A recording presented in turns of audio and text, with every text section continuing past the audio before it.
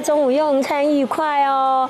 美红啊，丁宇怎么去拍哦？哦，够水又够水耶！蓝天白云怎么拍怎么美。啊，去遐佚佗的时阵吼，嗯，你就看讲真侪人吼，因去行路，骑客运车，啊，个些情侣做浪漫的？哦，骑奥多拜，啊，女生给抹掉掉，安尼哦，我讲好浪漫哦。但是呢，我的？朋友说，头一刚浪漫，第二刚受不了。女生说我不要再晒太阳，我不要再这样吹风了啦。好，但是呢，去到另外一个所在，比如说咱朋友也好啊，还是讲南屿啊，都有，迄个你都看到讲真侪人拢去遐佚佗。哇，迄上较重要的是大家好身体也够好，你才有法度四界拍拍照，身体健康，晒晒太阳。多幸福啊！所以呢，我们去出外景虽然很累，温套站哈，五六点我们就要起床准备，然后一直晒太阳，一直忙忙忙到天黑了，太阳没有我们才收工。可是呢是很充实，但是你必须要好的体力啊，所以保养盖重要哦。今天呢，那边哈好好保养节，就是讲在我们能够就是保养自己的时候，把自己照顾好，把家人照顾好，我们可以去给拍拍照。我们要借有很多的专家来跟我们分享。好的，也请到这位来宾，现在也。很会保养哦，身材越来越好。首先欢迎梁佑南，大家好，大家好。年过四十，想要有好的状态，光擦保养品是不够的，内在保养是很重要的。是的，没错，越来越狂野哦，好美，好棒。另外这一位呢，就养生达人，有些事情来请教他，他就会跟我们分享。欢迎陈曙光先生。养肾就是养命，想要有好体力，千万不能大意。哎，好押韵的，没错。你要有好的体力，你就不能大意，一定要知道说怎么样呢？呃，注意一些生活上一些细节。好，另外这位呢，就是中医专家，我们欢迎赖清旭先生。肾不好，容易衰老。由内而外的保养，你一定要知道。哎，说的有道理哎。那那情况蛮好。刚刚你讲咩啊？挂靠边水里头啊，个不含物件啦。可是呢，体内如果你有不舒服，有什么，其实它会散发出来，会影响到你外在。像你一直都把自己维持的非常好。我我我也有不 OK 的时候。其实我真的发现，年过四十哦，所有的机能都开始在衰弱，在减退。那以前年轻的时候，我绷紧呀，对呀，那些没关系啊，我睡饱就好了，没关系啊，我多吃一点就好，都没有好好照顾自己身体。嗯。然后要照顾小孩，要工作，然后要忙家里，有时候体力跟精神都不太好。嗯。其实你说啊，有时候状态好就是。保养品擦一擦，可是有时候你连擦保养品，你都看起来还是不太 OK 的时候，你就知道说，哎，应该是里面出问题。一般人都不会有这样的警觉性。我基本没怕有啊，我们到摄影棚之前一定都是素颜嘛，大拉拉的包包拿着，哎，早早早早早就坐下来化妆。因为化妆师跟我很熟，就讲，我说你是怎样？周星驰电影看太多了吗？他说不是，杨乃，你。你为什么脸这么干这么黑，然后那个整个颜色这么这么暗沉啊？我说有吗？哎，化妆师搞到工，你这个就像什么，你知道吗？是一种中药材。我说哎，中药材那一定是很好的。他说没有，风干老橘皮。哦，干嘛抢了？你猜我？他用这样形容我，我这么认真在保养。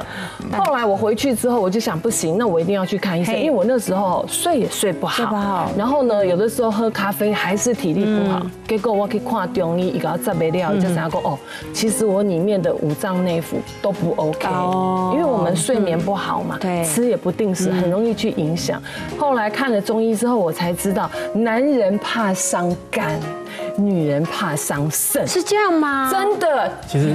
呃，男人顾肝，女人顾肾，其实肾脏男女都非常重要，是不是？对，那像我们上了四十五十岁之后，这个保养是不能少的。那以我自己而言呢，我因为在一个大企业工作，那早年哦，那真的是拼老命啊，那真的拼老命，因为很竞争嘛，对，那压力也很大，嗯，有时候上下班，你说现在年轻人我不知道，我们那时候十一二点回去常常常是啊。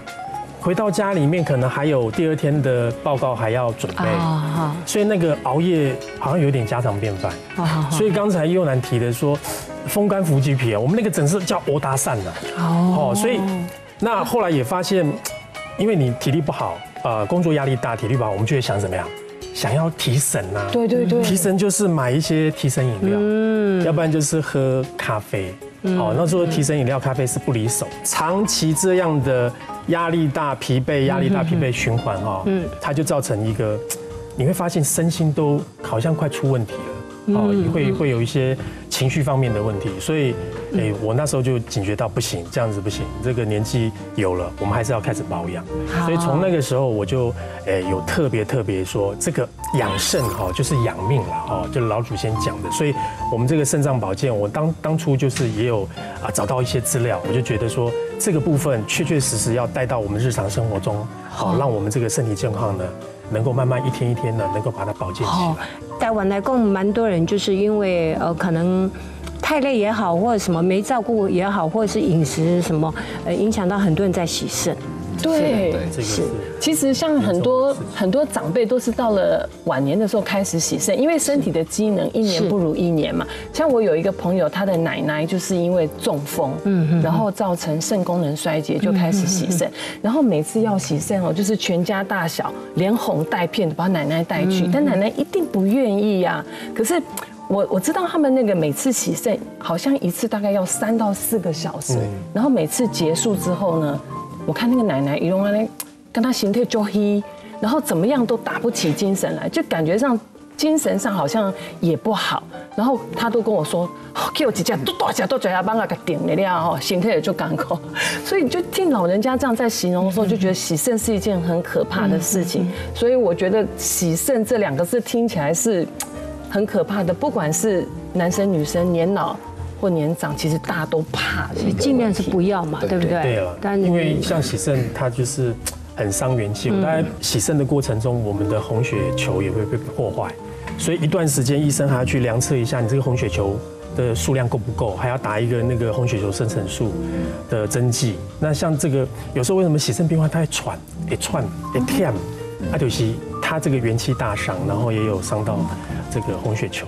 嗯，我们先了解一下，怎么样来自己了解一下，说啊，可能有这种状况，就是你要注意肾可能有一点小问题的。我们来看一下哈，检视一下哈。好，因为肾脏它是一个沉默的器官，嘿，它每天很认真的工作，可是它不大会哀嚎说哦，我做干扣啊，我不舒服啊。嗯哼。所以等到我们这个，当你真正有问题的时候，大概都是大问题了。所以我们很需要说，从日常生活一些征兆，然后去看看说，哎，你这个早期发现肾脏是不是出问题了？那现在这个我们一个五字诀，就是你可以做自我肾功能的检测。第一个就是泡小便有细微的泡沫，而且三十秒都不散。就是说，尿完看那个尿是不是有起泡泡？对，先不要急着冲掉，看个大概三十秒一分钟，哎，你就会发现，如果说泡泡久久都不散。那这个就会有点问题了哦。如果二三十秒了还没散掉的话，那就要注意了哦。对对，好的，好，再来。那第二个就是水，水就是当你的小腿、脚踝压下去又浮不起来的一个凹陷，那这个就表示有下肢有水肿。水肿，可是很多女生，我们有时候站一天，或是到了晚上，卡拢也看静力气啊，都还好，到晚上都会比较肿。对。那种通常哦，按下去它很快会浮起来。那真正的水肿是按下去，它久久都浮不起来，就一个凹陷的印子在那边，那个就是水肿。哦，那这个表示说，哎，你肾脏功能的这个水分调节功能已经失常了。哦，那那个皮肤没有可用了，就不会马上弹起来。可以这么说。第三个，第三个高血压。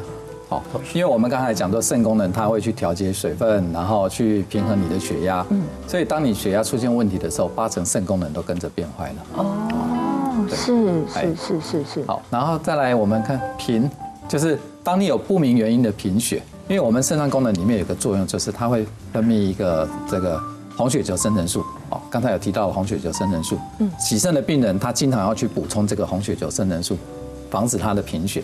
那如果说你的肾脏出了问题，红血球生成素减少了，就会造成贫血。好，那最后一个就是经常会感到疲倦无力。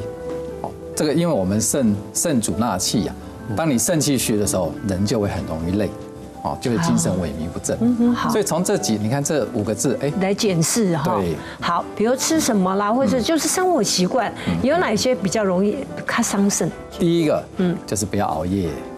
哦，你看熬夜，第一个我们讲说，哎，是伤肝，对不对？尽量尽量一直朝着这个路在走。我们对这个熬夜的定义哦，晚上十一点钟，哦，就要躺下来睡觉。哦，超过这个时间都叫熬夜了。哇，那熬夜第一个伤肝，可是第二个其实它就伤肾了。你看哦，熬夜的人他会不会容易黑眼圈？会，然后脸色都会暗沉，对，然后容易水肿，这个其实都是肾功能变差的一个征兆。哦，所以熬夜伤肝又伤肾，尽量避免熬夜。第二件事哦，就是饮食啦。饮食，你看我们很多说啊，这个病从口入啊，嗯，哦，所以要保护你的肾脏，很重要一件就是太油、太甜、太咸，这些食物不要吃。嗯，哦，比比如说像那个罐头食物啦、腌制食物啦，嗯，哦，还有那个。酱料很多的这些食物，就是比较高钠的这些食物，尽量不要吃，哦，免得去增加你肾脏的代谢的负担。嗯嗯，了解。对，因为在制品的东西，好就不是像原食材这么的新鲜。这个吃的要注意，不要太咸太甜。那再来一个呢？要多喝水。我们人体每天代谢它需要一一定的水量，比如说你的体重乘以三十。这个大概就是你一天所需要代谢基本水量。嗯，你如果喝不够的话呢，那你的小便的浓度就会尿液的浓度就会比较高，它会容易长菌，而且你水喝不够，很容易会有肾结石的问题。哦，所以水一定要喝够。哦，是。最后一个很重要的，嗨，不要乱吃药。好，不要滥用药物。哦，你看我们其实我们台湾人真的很喜欢吃药，中药、西药、草药，哇，各种药都吃。那其实最严重的就是说，很多人他不喜欢看医生，自己当医生，然后自己就去听人家说，哎，这个药好吃，这个药吃了对身体怎么样好，然后就去买来自己吃。通常这样都比较容易吃出问题出来。还有一些我们台湾民间有一些青草药，说吃了这个药之后可以降你的肝功能，可是这些药通常都很苦寒，苦寒就伤肾，所以你把肝功能顾好了，结果肾坏掉了，反而要去洗肾了。哦，这个得不偿失。对对。哦，所以吃药一定很重要，就是要有医生来处方，这样就比较安全。那我们讲到好了，就是肾的话，有一些我们要注意的，还有检视的，我们都大概了解了。那有什么样，就是说让我们肾脏能够比较健康的那种方法？我们把它分成两个部分，一个是外功，那一个是内功。外功的部分很简单，就是你每天做一个肾脏的按摩。人体有两颗肾。它就在我们腰部，然后后面这个肋骨下缘，所以你把你的手放到这边来，好，摸下去，这就是你的肾脏。哦。那要做之前呢，先把手心搓热。好。那最好就不要隔隔太多衣服了。哎，对对对，手心搓热之后，放到你的肾脏这边，然后上下的按摩。好，每天按多少？就按八八六十四下。那按完之后，你会发现，哎，你的全身就是很温暖，气血流畅。然后你整天就会觉得很身心舒畅。那再来，我们就讲内功。是内功就是食补跟药补。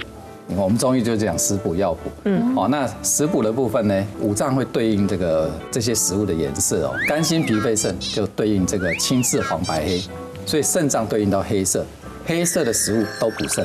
蒙利。哎，黑木耳哦，香菇啊，然后黑豆，黑豆，嗯，黑豆，然后再来黑芝麻。好，这些都补肾，都入肾。哦，甚至比如说像那个核桃，哦哦，核桃仁，然后还有枸杞，这些都是很好的这个补肾的食物，经常都可以吃。啊。对啊，我有听过，就像有一些那个中药材也是对对身体比较好的，保肝啊、保肾，什么冬虫夏草。啊，对。对对，我就听我的中医师说过，像也有一些妈妈就会把这个拿来顶鸡汤啊、顶白骨啊，就是全家人一起吃，就是食补嘛，照顾家人的健康。刚好又南有提到这个部分哦，因为冬虫夏草，我我稍微有一点研究，这个冬虫夏草它在天然环境那么严苛。你现在真的要买得到，真的哦，不容易，真不容易。在市面上有很多号称冬虫夏草的保健食品，大部分都没有通过认证，那就连比对菌种呢，也是完全不一样。所以我们一定要中英文学名都符合标准呢，才能透过卫福部的认证。讲说这个要与野生的这个冬虫夏草的 DNA 是要完全的符合，哦，在功效上也要有一定的效果。而且呢，合法申请到健字号这样的一个冬虫夏草的保健食品呢，才是符合使用的规范，好，也不用担心有重金属啦，一些啊，这个啊，我们说大家使用上面才能够安心。那在这个市面上目前哈，我也是看到只有杨定一杨博士的生产的这个团队是通过卫福部认证的保健食品，他花了十年的时间。大概是目前我找到市面上真正称为冬虫夏草的保健食品是什么样的保健品？给我们分享一下好吗？这个就是我找的很久的这个冬虫夏草。那它是把它做成液态，那这个液态我都是早上起来空腹，空腹吸收最好啊。哦，那这个男女老幼几乎都可以用。还有胶囊类的，一样的纯益类的多糖体上面。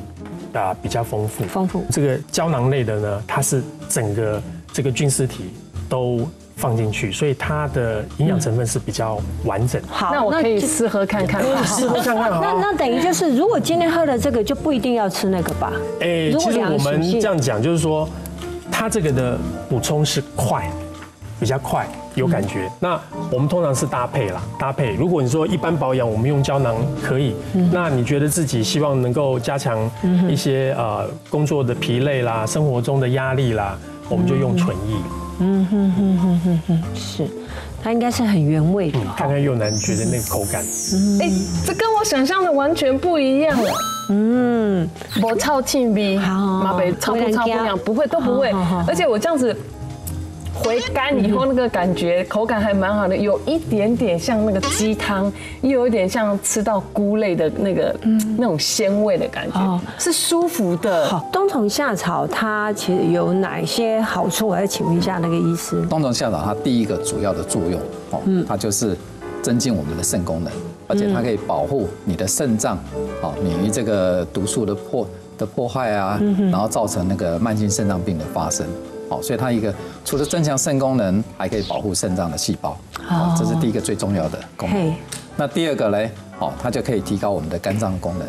好，你看，因为它加强了肾脏的代谢的过滤作用，它把这些毒素都排掉了，就减轻了肝脏它的代谢负担。好，所以它也可以保护这个肝脏。然后第三个呢，它就可以增强我们的免疫力。你看很多过敏性鼻炎啊、过敏性气喘啊、慢性咳嗽的人，他的肺功能都不好。那对于这些病人，如果说我们给他冬虫夏草，他会去强化他的这个肺脏功能，调整他的免疫免疫作用，提高他的抵抗力。哦，所以在这方面，这种过敏的人、气管不好的人，哦，哎，他也很适合吃冬虫夏草。那最后一个就是说，它可以提高我们身体的能量。好，因为冬虫夏草它的温肾，啊，然后这个补精益气的作用，好，它可以补你的气。那我们身体的这个能量工厂就是立腺体，哦，你只要能够促进立腺体的活性，哎，你的身体自然就会这个精气十足。所以冬虫夏草有这样一个作用。好，那我可以请教一下哈，诶，陈先生生活达人他自己养生达人，所以他都会去注意说，诶，这个来源呐，然后它的过程制造过程啊，你家己有安呢，呃，来使用以后，你家己的感觉，你身体有一些什么改善或者什么？其实哈。因为我用了一段蛮蛮长的时间，那除了自己，就是因为早期就是熬夜嘛，是啊，那工作压力大，那我自己最明显的就是说，你比如说真的这段时间要赶专案，那可能自己就真的要多自己要注意要保养，所以就要很规律啊，乖乖每天早上一瓶，然后真的体力中午可能下午。早上开了一天会，下午又有会议的时候，你中午要休休休休休节，我就会赶快再用胶囊哦，再来补充哦。那他整个精神就可以维持住。那其实我有碰到一个朋友哦，他是胃不好，胃不好，那他常常一段时间就要胃要会出血，要开刀。那他过往的经验就是说，他一开刀哦，嘿差不多胸部三五缸，我都落落名称。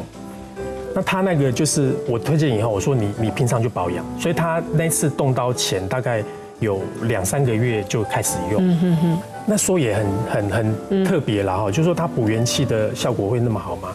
他那天开完刀之后，不但医生跟他说，哎，你这次这个这个状况很好，他到当天下午就跟医生说，哎，我我刚刚，哎塞，我我会塞起来行起来不？他当天下午就下床。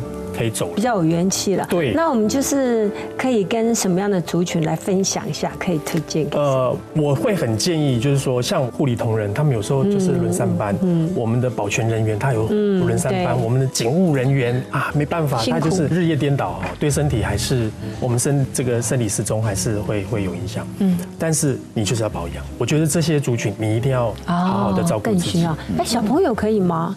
对啊，对对，像很多小朋友就是那个从小就知道鼻子。对，对。如果是小朋友的话，就是大概减量了，减一半，减一半。好，那剩下的一半，当然如果你保存的好，就冰冰箱，就自己喝。最好是现场就喝掉了，对，就自己保养对对对，也要给爸爸妈妈啊保养一下。是，好，那当然就是说保健食品呢，哎，刚刚那个陈先生有讲，呃，一个是公你。该地去了解一下，因为我想他都有一些介绍，有一些使用的方法啊。这个胶囊跟那个液体呢，还会建议啊，呃，可以分开。如果真的很累，你就可以胶囊那个，哎，这都是一个让自己养生的方法哈。那就是，嗯。我我们就是不要让这个肾到后来真的很不舒服，再来说必须要怎么样，在这之前就把自己照顾好，知道有些新的资讯，然后当然我们正常尽量正常啦，工作啦，呃，生活作息尽量啊，但如果难免有一些应酬，有一些什么，你更更需要保养了。所以呢，保健食品呢搭配的我们正常的生活作息，还有一些运动，一些吃的什么，我想这个效果。会是很好的，因为健康是无价的，好不好？今天跟大家分享一下，好，非常谢谢你们，谢谢好棒的分享，要多喝水，是，谢谢，嗯。